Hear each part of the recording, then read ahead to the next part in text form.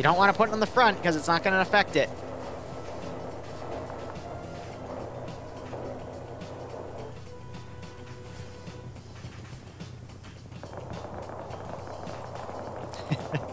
you got to do it on the side because it's more prone to flip on the sides rather than the front, guys. Come on.